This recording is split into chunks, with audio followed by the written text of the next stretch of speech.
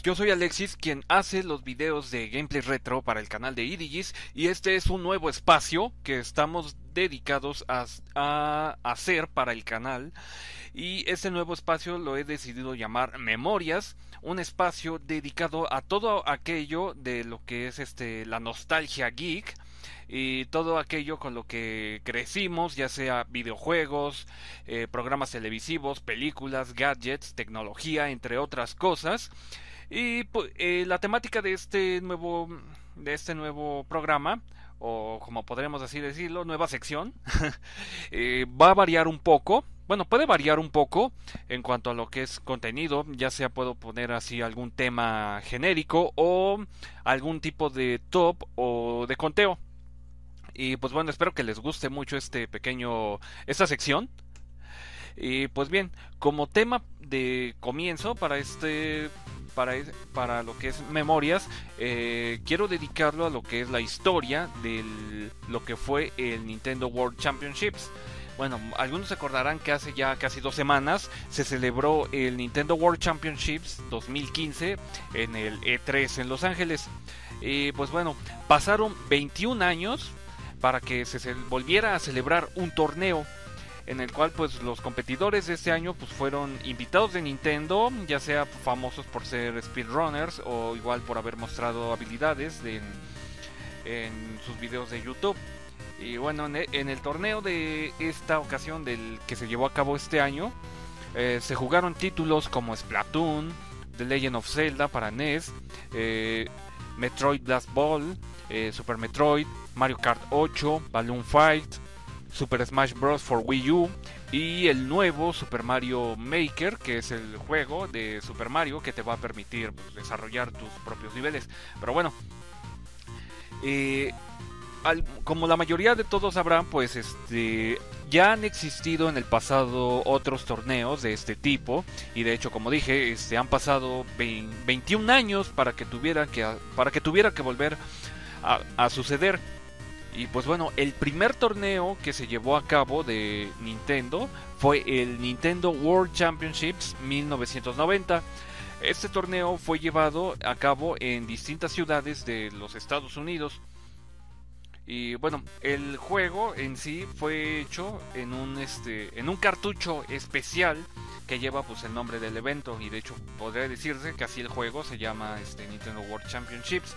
El torneo se llevó a cabo en 20 ciudades a través de los Estados Unidos. Ese cartucho cuenta con tres juegos en una prueba en cada uno de ellos. El primero es Super Mario Bros, en el cual su objetivo es juntar 50 monedas. Después este, sigue con Rat Racer, un juego en el que tienes que completar la carrera. Y por último Tetris, en el cual tienes que lograr el el máximo puntaje. Todo esto en un tiempo de 6 minutos con 21 segundos. Una vez que se concluyó el tiempo, pues se hace una suma del resultado obtenido, del cual este se da el puntaje, bueno, se suman lo que es el puntaje obtenido de Super Mario Bros.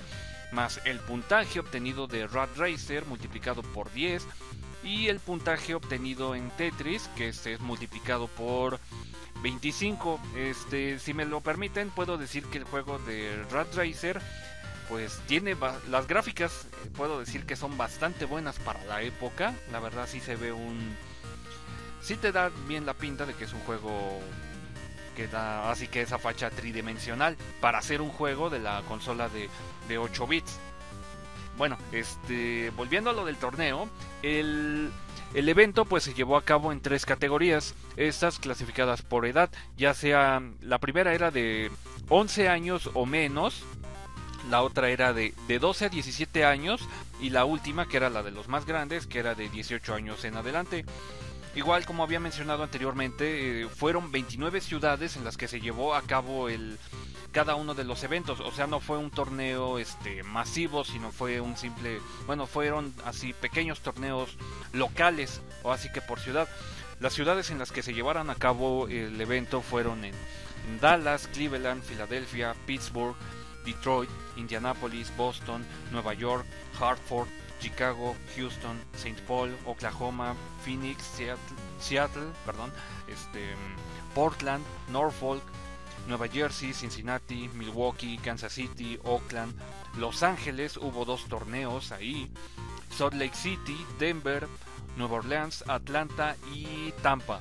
Igual como había mencionado, no existió una competición oficial para elegir a un ganador, que sea así que de todo el país, pero los tres campeones de, de algunos de los de los eventos que hubo compitieron de, de manera digamos no oficial eh, por ejemplo, entre estos competidores fueron este Robert Whiteman de la ciudad de Nueva York, quien obtuvo el tercer lugar en la competición oficial. Después fue Jeff Hansen de Tampa, quien obtuvo el segundo lugar. Y Thor Ackerland de Houston, quien obtuvo el primer lugar. El cartucho, pues, es considerado uno de los más de los más raros que existen y bueno, como no, no, lo va a hacer, la versión del cartucho gris solamente se hicieron 90 copias, mientras que del cartucho dorado se hicieron 26 copias. Hay personas quienes han pagado hasta más de 15 mil dólares por una copia de este muy muy extraño juego.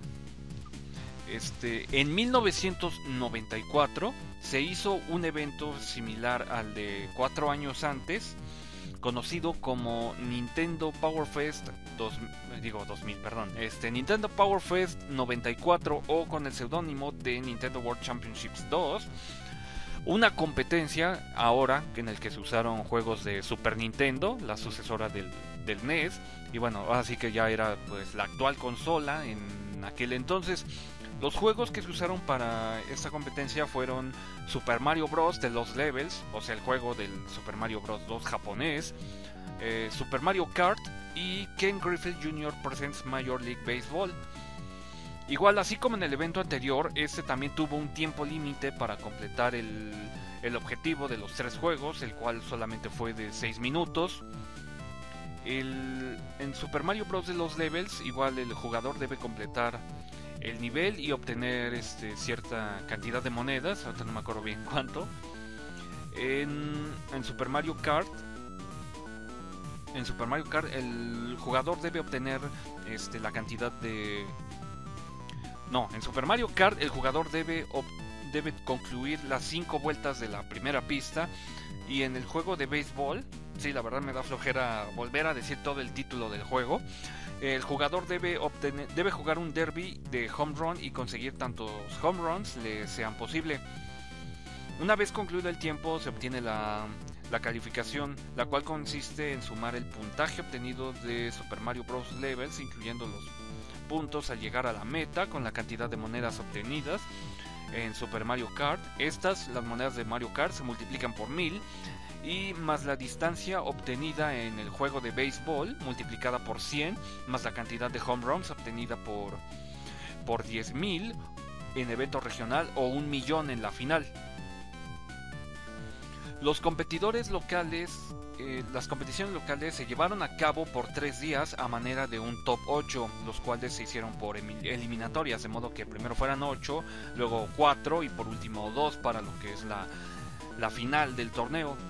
Eh, de los jugadores de las competencias locales, que son los que llegaron a la competencia mundial que tuvo lugar en San Diego, California. De estos se hicieron en cuatro equipos, cada uno nombrado con un tipo de desastre meteorológico. Por ejemplo, uno era el equipo de los ciclones, los huracanes, los tornados y los tifones.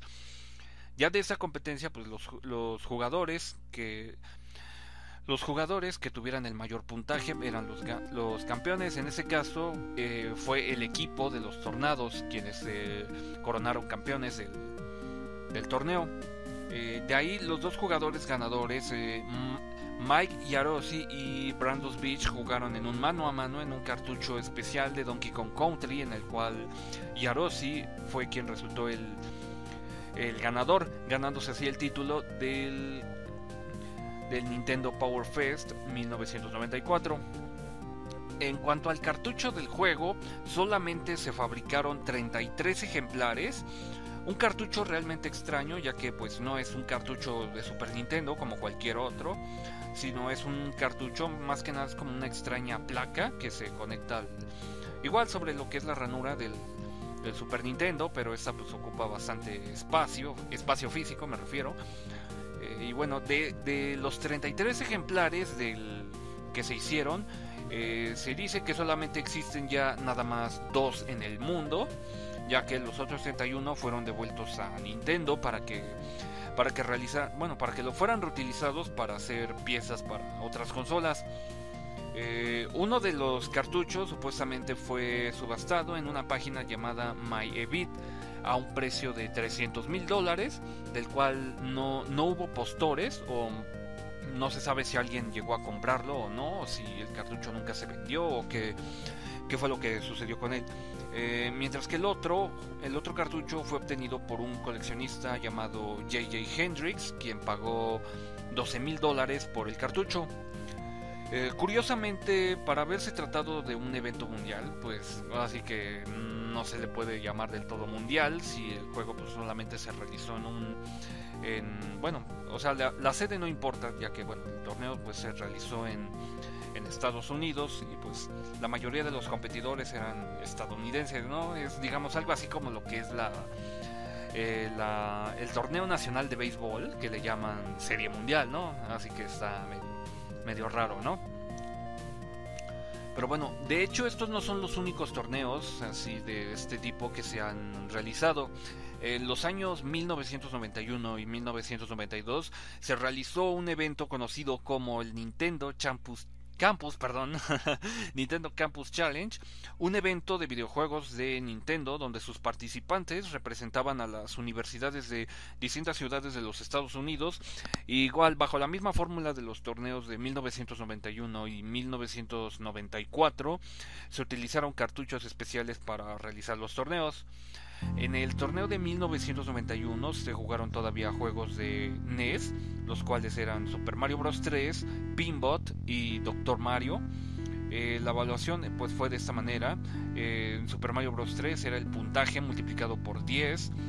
En Pinbot se calificaba el puntaje y en Doctor Mario el puntaje multiplicado por, por, por 100. En cuanto a lo que es el cartucho, eh, se dice que solamente existe una copia en todo el mundo de este, de este juego, la cual fue obtenida por el coleccionista Rob Walters en una venta de cochera en Nueva York en el año 2006. En el año 2009 pasó a manos del coleccionista JJ Hendrix, el mismo que había comprado el del el del Power Fest 94, y este lo obtuvo por la cantidad de 14 mil dólares y tres meses después eh, Hendrix vendió el ejemplar en eBay por 20.100 dólares. Mm, no se sabría así que a quién, quién es el que lo posee. En 1992 pues se hizo un torneo, otro torneo similar al de 1991, igual del, del Campus Challenge, el cual ese se convirtió ahora ya con juegos de Super Nintendo, pues ya era la consola que ya estaba comenzando a, llegar a las tiendas y a los hogares.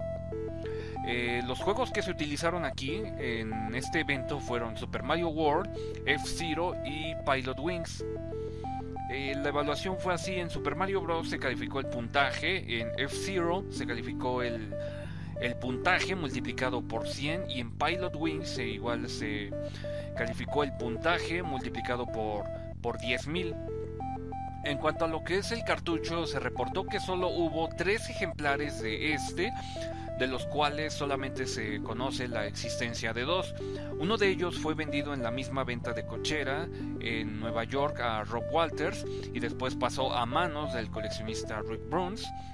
El segundo cartucho fue encontrado en el ático de un ex empleado de una compañía que hizo proyectos para, para Nintendo y ya que Nintendo había enviado ese cartucho a la compañía con, con, algunos otros juegos. Ahora sí que pues resultó que él se quedó con el, con el juego.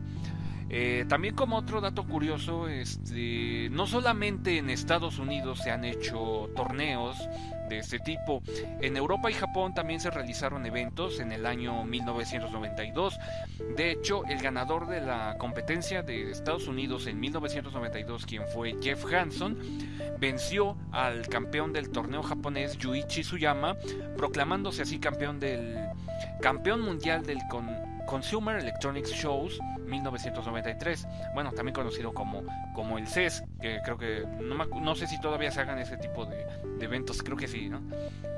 Y pues bien, esta es una de las más, este, el Nintendo World Championships, en conclusión, pues fue uno de los eventos más importantes del, del mundo en lo que son los videojuegos y pues bueno, la verdad fue bueno saber que, que Nintendo haya decidido pues retomar lo que es este este camino, ¿no? Bueno, así que este tipo de, eventos, o así que, bueno, se han realizado distintos tipos de eventos de videojuegos, ¿no? En, en distintas partes del mundo, ¿no? Igual lo que son torneos de, de lo que son este ya sea torneos de Halo, torneos de FIFA, eh, torneos de League of Legends, etcétera, o sea, eh, distintos tipos de torneos en cuanto a lo que son los los géneros de, de los videojuegos. Y pues bueno, así que eso fue un poco lo que es retomando la, la historia de lo que es el, el Nintendo World Championships, eh, que comenzó en el año de 1990 pues bueno, espero que les haya gustado esta historia. Yo soy Alexis y suscríbanse a nuestro canal. Espero que, porque, bueno, así que así podremos hacer más videos como estos. Y pues bueno, nos estamos viendo en el próximo video. Bye. Si te gustó este video, por favor dale like y suscríbete a nuestro canal para ver más contenido. Visita nuestra página y síguenos en las redes sociales para estar en contacto. En la descripción encontrarás los links.